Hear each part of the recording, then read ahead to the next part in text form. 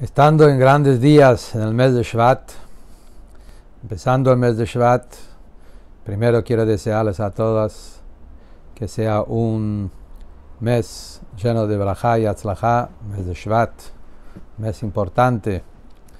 Es el mes donde tenemos el gran día de 10 de Shvat, el Istalkus, Lilule Yortzeit, fallecimiento del Rebbe Rayatz, Friedrich Rebbe, y también es el día del liderazgo del Rebbe, es el día, el gran día donde el Rebbe asumió liderazgo y cada año hay una energía nueva, una luz nueva y tenemos que lograr conectarnos con esa energía, con esa fuerza de ese día.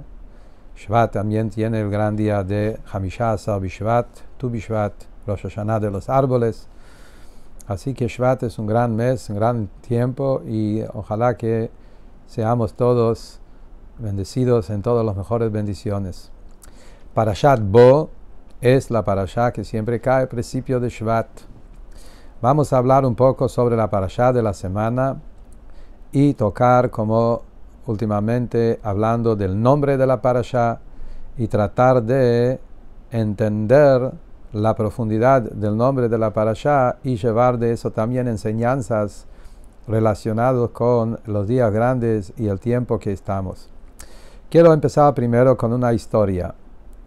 Un maíz, escuché de un Hasid que lo conocí personalmente también, un gran Hasid del Rebbe que se llamaba Rebzushe.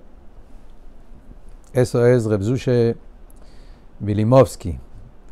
El Hasid del Rebbe, los Hasidim lo llamaban el partisán. Él era uno de los partisanos en la época de la Shoah, de la Segunda Guerra Mundial.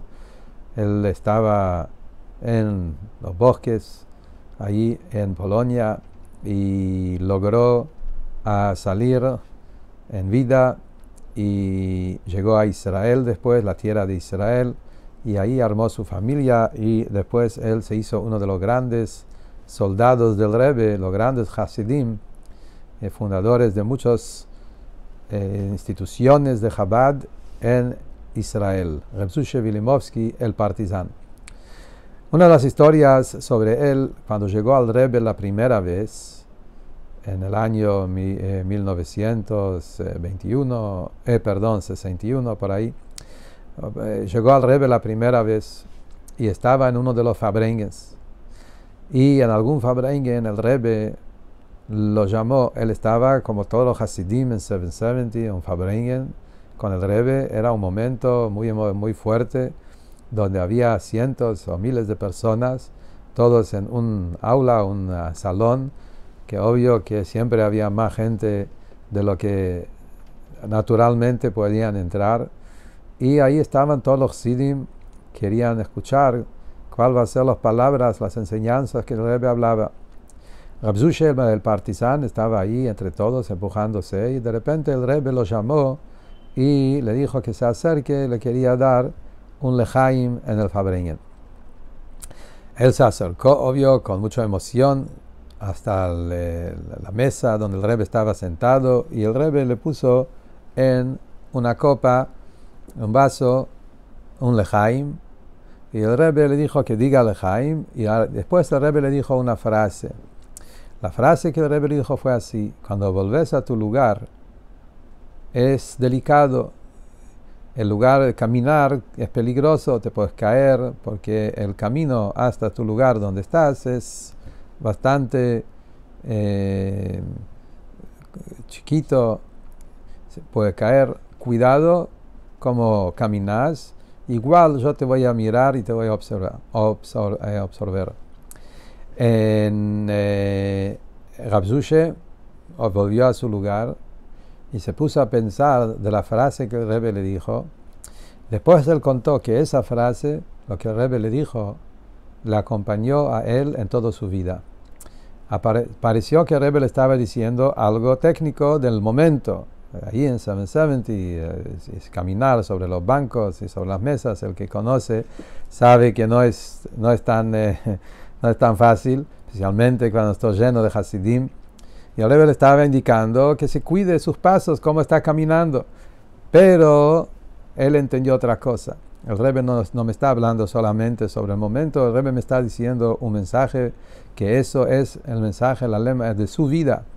Entendiendo que yo, cuando yo camino eh, y voy donde voy a ir en mi vida, en mi shlichut, en mi tarea, misión especial que él tenía en Israel, que él estaba ahí haciendo montones de cosas muy importantes en el judaísmo y para Chabad, etc.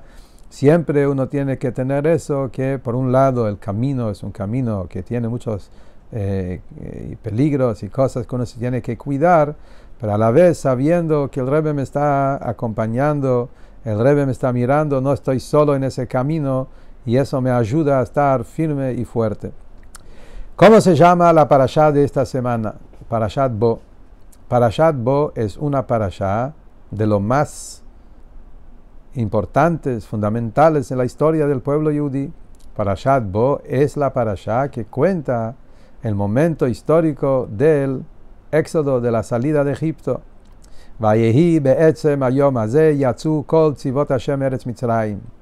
Un pasuk fundamental que es el centro de la parashá de esta semana, que fue la esencia de ese día, salieron todos los ejércitos de Hashem de la tierra de Mitzrayim.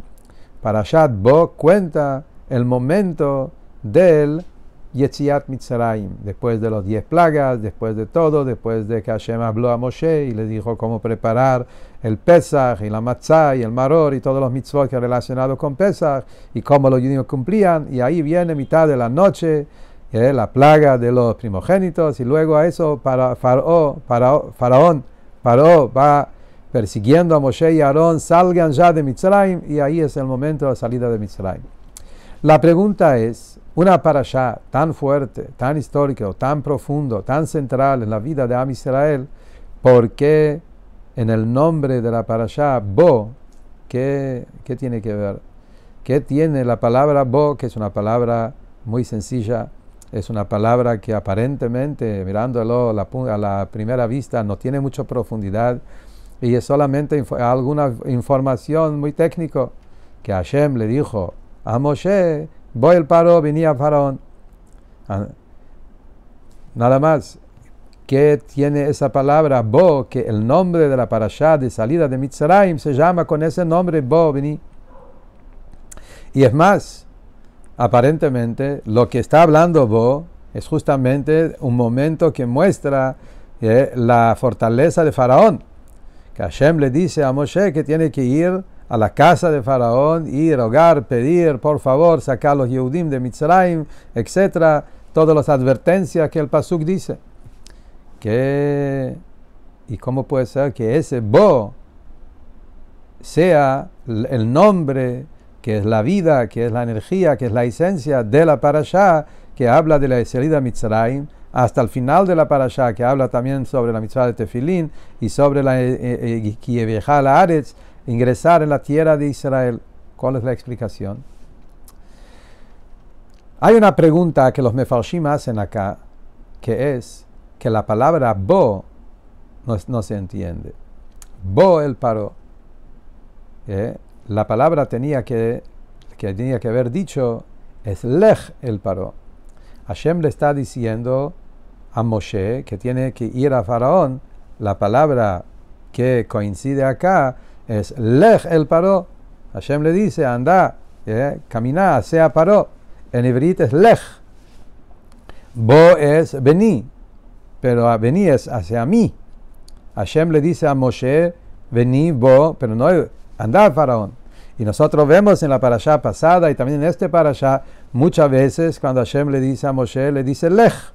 Lech el paró y maima, lech el paró. Dice muchas veces lech, anda faraón. Y justamente acá dice bo. ¿Cuál es la explicación de eso? Entonces los mefalshim de Pshat, por ejemplo, Rashi no dice nada. Aparentemente que para Rashi no es una pregunta. El Baal Aturim, uno de los mefalshim, no es del Pshat, pero acá dice un Pshat muy, muy simple y es fundamental.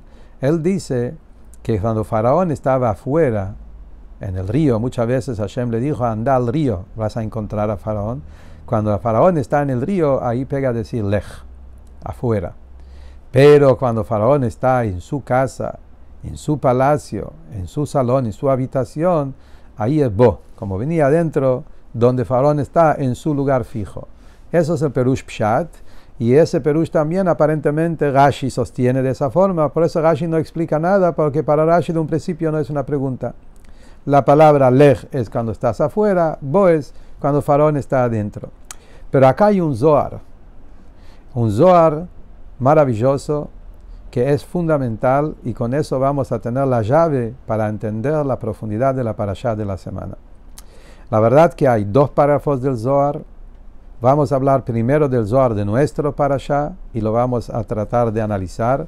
Y luego vamos a hablar de otro Zohar en Parashat Vaigash que nos agrega también mucha profundidad. Empezando del Zohar de nuestro parashá. Dice el Zohar esas palabras. Cuando Akadosh Baruchu le dijo a Moshe Rabbeinu que tiene que ir a la casa de Faraón, Moshe tenía miedo. Hasta ahora Moshe fue al río, Moshe fue a lugares afuera de la casa. En los, en los ríos, en los afueras, Moshe no tenía tanto miedo. Ahí iba con fuerza, con fortaleza, con firmeza y se paró y habló. Cuando Hashem le dijo ahora en Parashat Bo, Hashem le dijo a entrar en la casa, dentro del palacio, en el lugar más profundo donde está la habitación de Faraón mismo, Moshe tenía miedo. ¿Por qué Moshe tenía miedo? Dice el Zohar, porque el Faraón es la impureza máxima, la cabeza de toda la impureza que hay en el mundo. Al Tanima Gadol, como dice la Haftarah de esta semana, ¿Quién es Faraón? Faraón es el gran serpiente. Es la cabeza y la corona de la clipa, dice el Zohar. Es la corona de donde ahí surgen todas las ramas y todos los ríos y todas las extensiones de la clipa, todas las extensiones de la impureza en todo el mundo. Entonces, cuando Moshe tenía que ir a las ramas, ir a las extensiones, no tenía tanto miedo. Cuando Akadosh Baruchu le dijo, ahora es el momento que vamos a ir al, a, la, a la esencia, a la cabeza, a la corona, a lo más fuerte de Faraón, ahí Moshe dijo, esto es demasiado. Moshe tenía miedo de entrar ahí. Entonces Akadosh Baruchu le dijo, no tengas miedo, dice el Zohar. Bo. Ahora la palabra bo pega mucho y es muy profundo. Hashem le dice a Moshe, vení conmigo, a vos conmigo, vení, porque yo te voy a acompañar, no estás yendo solo. Yo te estoy acompañando a la casa de Faraón. Y si yo estoy yendo con vos, quédate tranquilo, eh, está firme y fuerte y vas a poder. ¿Cuál es el mensaje acá? Moshe Rabbeinu, con toda su grandeza, con toda su santidad, con todo lo que él tenía. Moshe Rabbeinu es la jochma, la jochma, la inteligencia, la, sabiduría de la Kedusha en su máximo. Moshe Rabbeinu tiene que entrar en la corona de la clipa.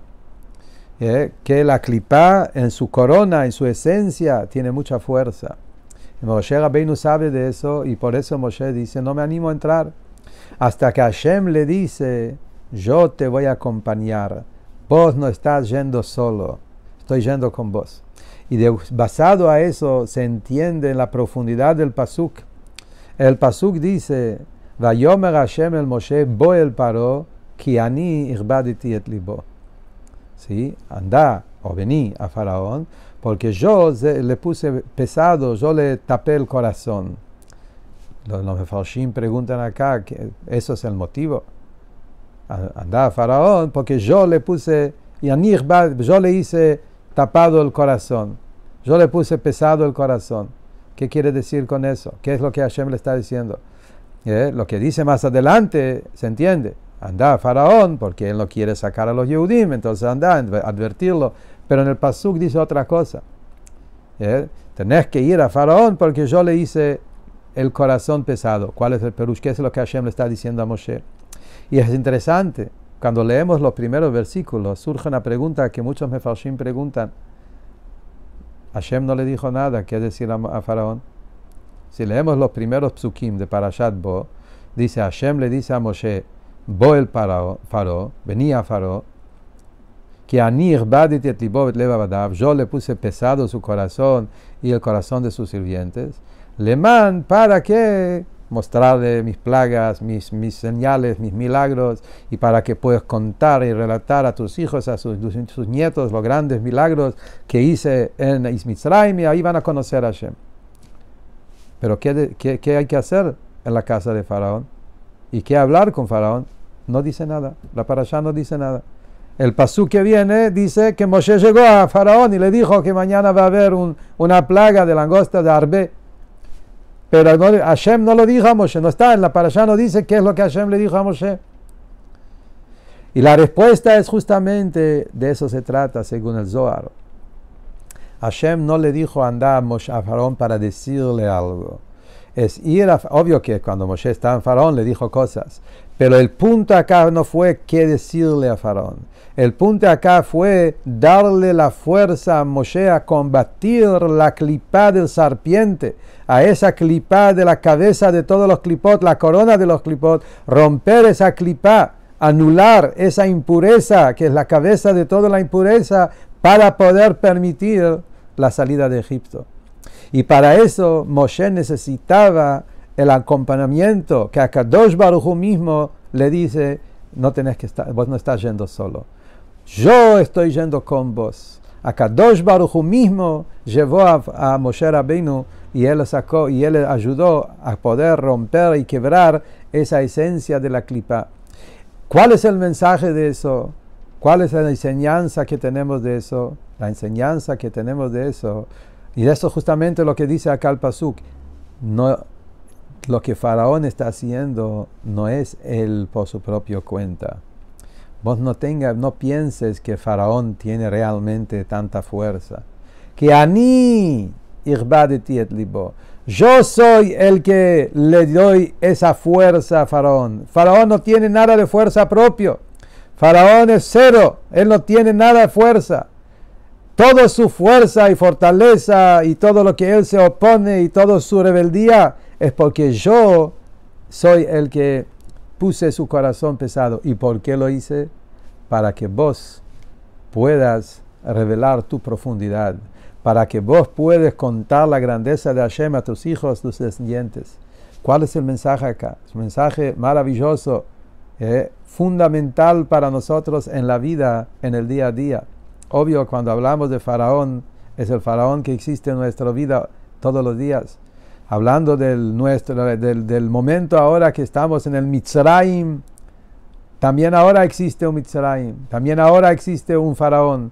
Es el Galut, es el Yetzarará, es la impureza que nos persigue todo el entorno alrededor, hasta que hay una impureza de lo máximo que es el faraón, es la cabeza, la corona.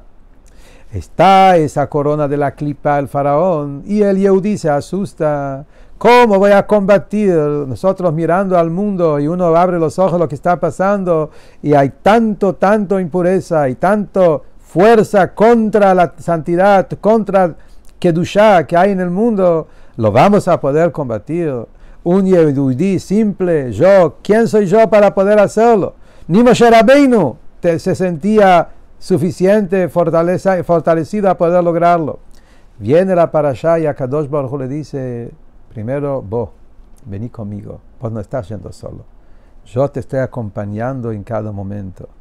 Que anir badeti et que sepas que todo ese fortaleza que la impureza se está mostrando, toda esa oscuridad pesada que parece estar en el mundo, soy yo que estoy dándole esa fuerza. La clipa no tiene nada de fuerza. La clipa es puro una fuerza que Hashem le está dando. ¿Para qué? Para que el Yehudi se ponga más fuerte todavía y el Yehudi revela su fortaleza más profundo y el Yehudi revela la grandeza de Hashem a través de anular esa clipa, a través de combatir. Y eso es el fundamento de todo el Tanya. Si miramos en el Tanya, ¿qué es lo que el Alter nos enseña? El Alter nos enseña el Tanya, el fundamento que cada Yehudi tiene dentro de su corazón dos almas. Un alma es puro divino, Nefesh Elokit, Helek Elokam Imal, una parte de Dios mismo. Pero hay otro alma, el alma animal. Y el alma animal es muy fuerte. Y a veces parece ser que nuestro alma animal, el Yetzarara, es mucho más fuerte que el alma divina. Estamos acostumbrados a vivir con él, lo alimentamos, está bien fuerte y firme instalado en nuestra vida. Y de repente viene el Yetzer Tov, el Nefesh Elokit, y quiere mandar un mensaje espiritual, positivo, pero nadie lo está escuchando.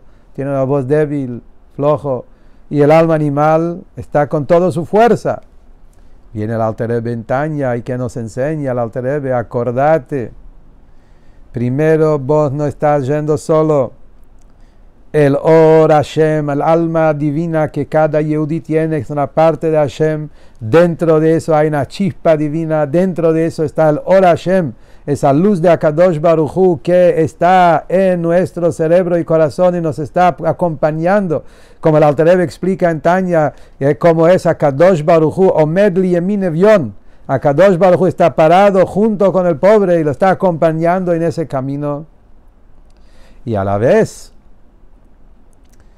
saber que esa pesadez, esa firmeza, esa fortaleza que el alma animal se está mostrando, no es una fuerza verdadera.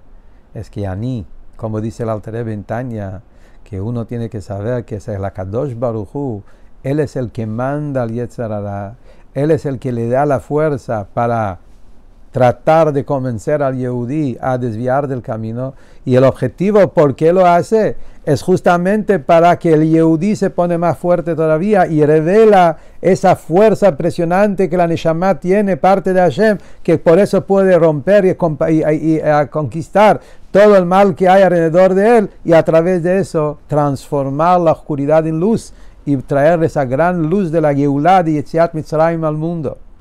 Y eso es el bo, el paro que anich libo. No estás solo en el mundo. Y eso es un punto que tenemos que siempre acordar. Trébelo como compara como un rey que tiene un hijo único. Y el rey conoce todos los talentos y todas las cualidades y dones que su hijo único tiene. Y lo enseña y le trae los mejores maestros. Y después llega el momento donde el rey le dice, tenés que ir lejos. A un lugar fuera de la capital, fuera del palacio un lugar donde hay gente totalmente opuesto, donde viven totalmente el opuesto de las enseñanzas que tuviste en la casa del rey. Y ahí te vas a tener que encontrar con muchos obstáculos, gente que te van a tratar de convencer a otro camino. Y ahí la persona tiene que saber que el rey es el que lo puso todo esto. Y el objetivo que el rey mandó a esta gente para molestar no es para que yo lo sigo a ellos, al contrario, porque el rey quiere, sabe que yo realmente puedo y quiere revelar dentro de la persona, dentro del príncipe, del príncipe esas fuerzas íntimas, profundas, extraordinarias que están escondidas en él y a través de combatir lo va a poder revelar. Y eso es el Boel Paró. Cuando tenían que salir de Mitzrayim, justamente eso es el comienzo de la parashá. Yetziat Mitzrayim marca un comienzo de la historia del pueblo yudí. Yetziat Mitzrayim empieza un comienzo de todo un viaje largo de 3000, más que 300 años que estamos acá en el Galut es el trabajo del Yehudi. Ahora van a salir de Mitzrayim, van a recibir la Torah y va a empezar un viaje en el desierto, después en Israel, y después van a estar ahí cientos de años, después van a estar en un exilio de Babilonia y van a volver al segundo Bet Migdash y van a volver al Galut y estar miles de años en todo clases de situaciones difíciles. Acordate, viene la parashá de Yetziat Mitzrayim y te dice, Bo, vení conmigo vos no, no te asustes de las dificultades, de las oscuridades, de las dificultades, de las cosas que nos toca alrededor. Acordate que vos sos un Yehudi y Akadosh Baruchu te acompaña en cada paso. Y eso es el pasú que decimos en capítulo 23. Capítulo 23 de Teilim es uno de los capítulos más fuertes en el Teilim, muy conocidos. Y el Rebbe en muchas cartas dice a la gente ¿eh? un capítulo que vale la pena decirlo todos los días para tener bien el equilibrio y saber a dónde estamos yendo en la vida. Ahí es el capítulo Mismor le da vida, Hashem ro'i lo echzar, Kadosh Baruch es mi pastor, no me falta nada, etc. Es ese capítulo muy importante. Y ahí hay un pasuk.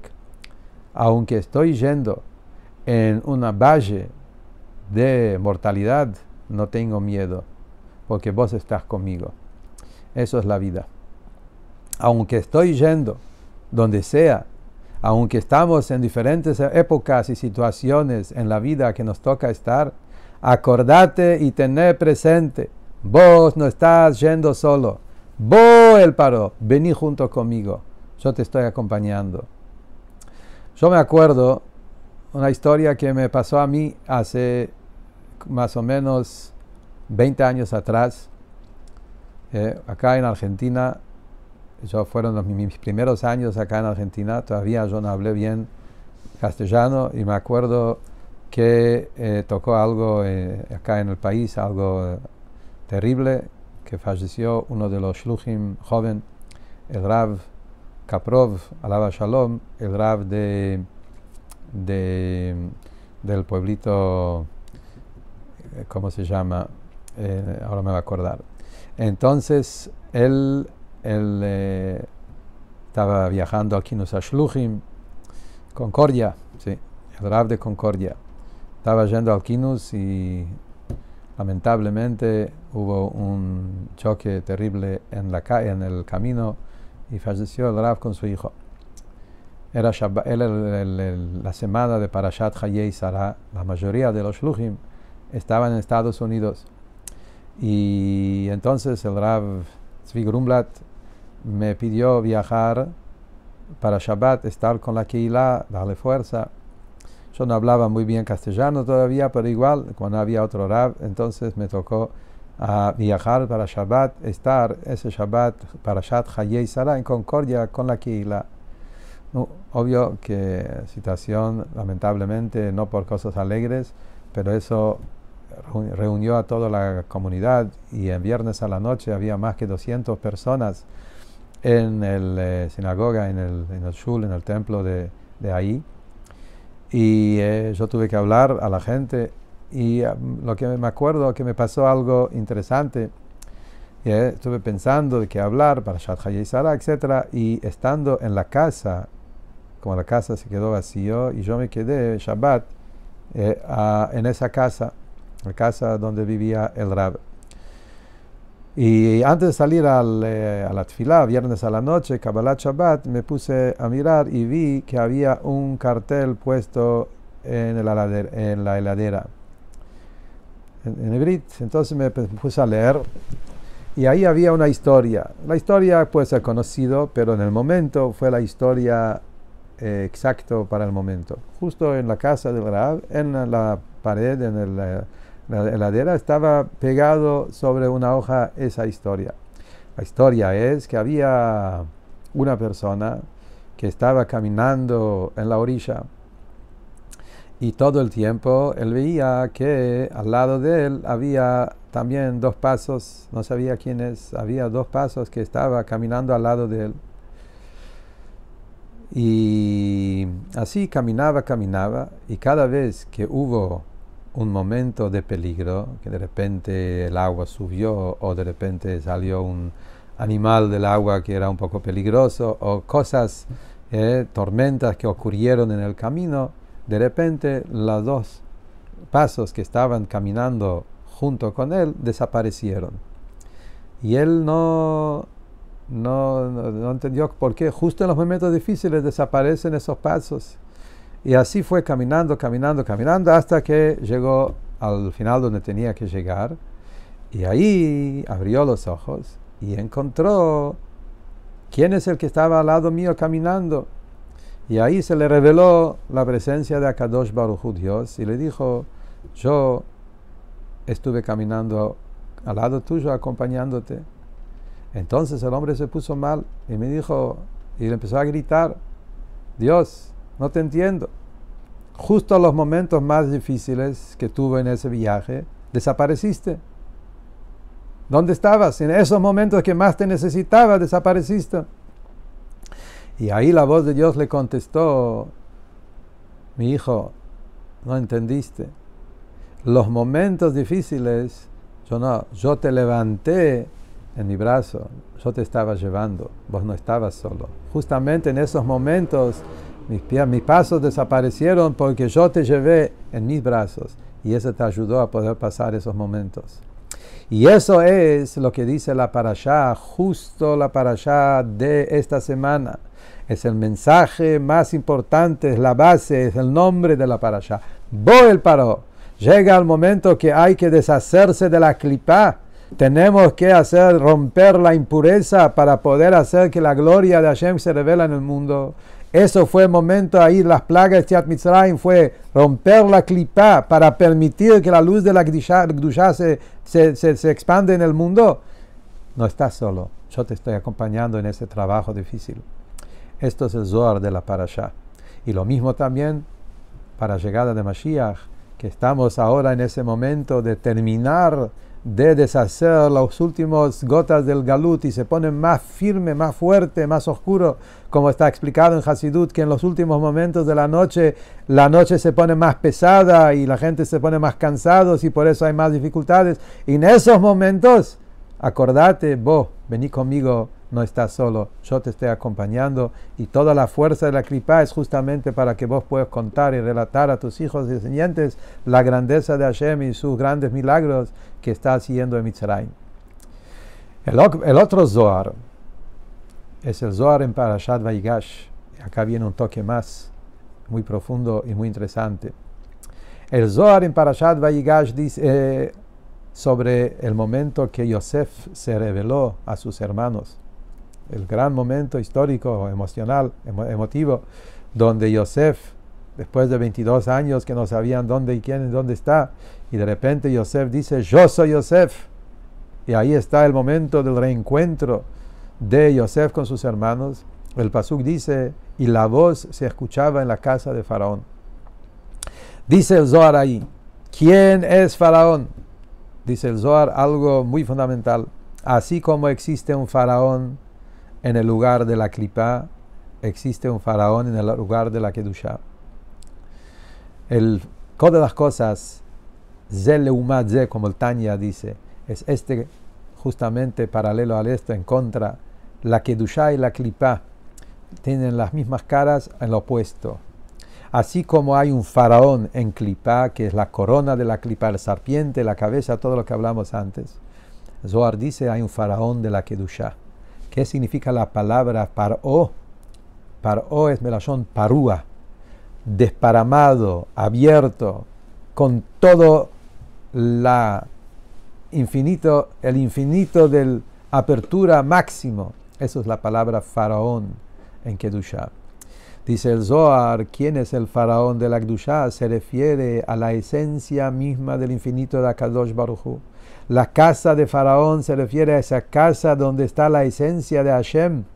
Así como en la casa se encuentra el rey con toda su gloria y su esencia y no necesita esconderse y ponerse ropas especiales porque en su casa el rey está con todo abierto, con todo sin límites. La casa de Faraón representa esa casa de donde ahí se desparama, se expande, se revela todas las luces, todos los brillos y todas las velas y todos los firot y todos los chispas, todas las luces que hay en el mundo infinitamente sale de ese faraón. Y ese es que um, Yosef, cuando se reveló a sus hermanos, fue ese momento donde Yosef le dio esa fuerza de faraón, que con eso es lo que se va a revelar en la llegada de Mashiach. Según eso, el Boel paró, de repente otra dimensión Acá hablamos, no el faraón de la impureza, como hablamos del Zohar primero. Acá es justamente al revés. Llega el momento de la Geulah. Estamos en los momentos más picos, así dijo el Rebbe en el Fabrengen hace 30 años, el último Fabrengen de Bo del año 5752, 1992. Dijo el Rebbe que en el momento de la Geulah estamos llegando muy cerca lo mismo como fue con Moshe Rabbeinu. Moshe Rabbeinu está en el momento histórico de sacar a Israel de Mitzrayim para ir recibir las revelaciones de lo más profundo que vamos a tener en Kriyat Yamsuf y Yetziat Mitzrayim, Matan Torah, donde Akadosh Baruch mismo se va a revelar para dar los diez mandamientos y todo eso. Moshe tenía miedo de la grandeza, de la wow, tanta luz, tanta energía, tanta fuerza, ¿cómo lo vamos a poder contener en un cuerpo limitado? ¿Cómo una persona limitada puede contener tanta energía? Si sabemos, como dice el Pasuk, que un ser vivo no puede ver la divinidad y quedarse en vida. Tanto revelación, ¿cómo lo vamos a poder sostener? Si los malachim, dice la Gemara, que a Kadosh Baruj a los ángeles le mostró solamente un solo dedo de él, obvio que esto metáfora, que hay que entender lo que significa, una sfirá, una midá, lo que sea, pero así es el ashon de la Gemara, un dedo, y se quemaron porque no podían sostener tanta luz y tanta energía. Entonces, cuanto más, cuando se trata de la revelación de tanta grandeza de Hashem que se va a revelar, Moshe Rabbeinu tenía miedo de eso. ¿Cómo lo vamos a poder percibir? Y acá de vuelta, Boel paró. Kadosh Baruj le dice a Moshe, vos no estás yendo solo. El mismo Dios que se va a revelar ahora, Él también te va a dar las capacidades, los kelim, los recipientes para poder percibir, recibir y tener toda esa energía y poder unirlo con el cuerpo, poder hacer que la luz máxima de Hashem en un mundo limitado, en un cuerpo limitado también. Y eso también es el mensaje que estamos ahora entrando, ingresando en la era de Mashiach. El Rebbe hablaba en esos fabrengues, últimos fabrengues del Rebbe, antes que el Rebbe se enfermó, y el Rebbe ahí hablaba cosas muy fuertes de nuestra época, preparándonos a la etapa que estamos ahora entrando, que estamos hablando de la era de Mashiach el tiempo que está por revelar, está por llegar esa gran luz, esa gran energía donde la presencia de Hashem se va a revelar en el mundo. Lo que dice todos los profetas, la era de Mashiach, que Niglak de Hashem, la gloria de Hashem se va a revelar, kol basar kipi Hashem diber, la carne va a poder ver la presencia de Hashem en el mundo, allá Hashem le melech al kol Hashem la grandeza de Hashem va a estar revelada acá en la tierra, especialmente el pueblo yehudí, van a poder contener y recibir toda esa gran luz de la llegada de Mashiach. Y Moshe dice, ¿cómo lo vamos a poder? ¿Cómo podemos, personas limitadas, simples, eh, hechos de carne y hueso, cómo vamos a poder ser kelim para todo eso? Contesta la allá, Vayomer Hashem el Moshe Boel paró. Vení, vos no estás yendo solo. Vení conmigo, yo te acompaño yo también te voy a dar toda la fuerza necesaria a poder recibir esa gran gloria de Hashem dentro de un cuerpo limitado también. Y eso es el momento que estamos entrando. Justamente cuando llega el 10 de Shvat, el Rebbe en el primer mamar, famoso mamar, discurso hasídico que el Rebbe dijo que fue también el último del Rebbe anterior, el Batile Ganía Jotikala, famoso mamar que habla sobre llegué a mi jardín y ahí me encontré con mi hermana, mi novia. Y ahí el Rebbe explica todo el tema que este mundo es el lugar que Hashem eligió como su jardín, donde es el lugar del encuentro entre él y el pueblo yehudí. Y ahí está la morada de Hashem en este mundo inferior. Justamente lo que el Rebbe dice en el primer mamar, que el Rebbe dijo eh, cuando recibió el liderazgo que nuestra generación, el séptimo generación, es la generación de Mashiach. Y nosotros tenemos que terminar esa tarea de proyectar la Shina acá abajo y traer a Kadosh Baruch acá al mundo y hacer de este mundo enamorado para Hashem. Y nos toca a nosotros esa tarea. La persona viene y dice, yo, una persona chiquitito, yo voy a poder hacer algo. Yo soy una persona que no tengo esa fuerza. Yo voy a poder hacer esa, ese tema. La respuesta es sí.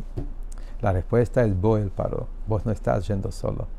A ese faraón de Gdusha, esa revelación extraordinaria que se está revelando en el mundo, yo te estoy dando la fuerza de poder recibir esa luz y poder ser parte de eso sin aplastar, sin desaparecer, sin anularte. Contrario, dentro de tus kelim, dentro de tus recipientes. Y así va a ser que pronto eh, cada uno de nosotros nos vamos a poner a aprovechar esos grandes momentos que estamos de hacer una mitzvah más, una palabra de Torah más, un favor a un Yehudi más, una alegría más, unas palabras más, especialmente estudiar Torah Hasidut, que es la Torah que nos prepara a esos momentos de la Geulah. Y como Rebbe está, eh, contó en ese Fabrengen, eh, todo ese tema donde un Hasid con su estudio de Hasidut está agregando luz al mundo, haciendo que la, la, la, rebe anterior, que en los últimos eh, años le costaba hablar por temas de enfermedad, y podemos curar esa situación a través que nosotros estudiamos, aprovechar esos momentos de hacer, ponernos más firme y más fuerte en el estudio de Torah y de Hasidut y cumplir los mitzvot y difundir la luz de Torah y de Hasidut en todo el mundo. Y con eso vamos a preparar el mundo para el gran momento, la llegada de Mashiach, que sea Bimarabi Ameinu Amen, Ki Eretz Mitzrayim, Arenu Niflaot.